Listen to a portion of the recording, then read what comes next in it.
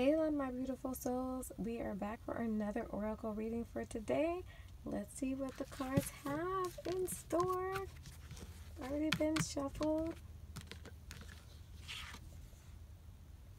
Intuition and downloads.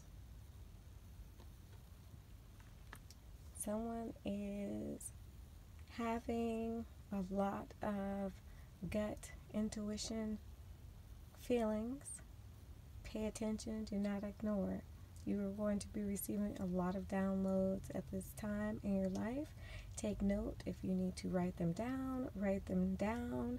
If you need to put them to action, put them to action. But make a plan, listen, and pay attention.